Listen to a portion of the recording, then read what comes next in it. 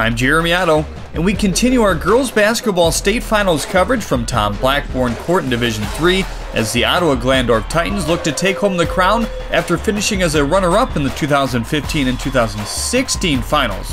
While just the winningest program in Ohio high school history stands in their way, the Berlin Hiland Hawks making their 18th finals appearance. Titans coming out strong on defense here, picking off the pass. Chloe Glenn picks it up and takes it the length of the court for two. The Hawks would have a response on the very next possession, though. Kylie Horn drives the baseline. Nothing there, kicks it out to a wide open Bryn Mullet, who splashes home the triple try. The Titans keeping it close. This time, Micah Aldrich drives too hard on the runner, but Glenn right there for the offensive board and the putback. After one, the Hawks led 10 to 7. Hiland continued their hot shooting in the second. Mullet looking for enough space to let another one loose, finds it, and doesn't disappoint. The Hiland defense held Ottawa Glandorf to just four points in the second.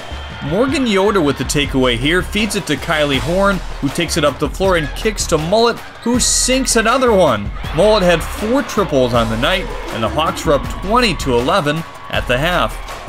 Titans starting to pull things together in the third. Emma Bringman's runner misses, but Katie Kaufman is right there to clean things up. Hiland's shooting had other thoughts, so Yoder lofts this one to Mullet, who catches through traffic and drains the three.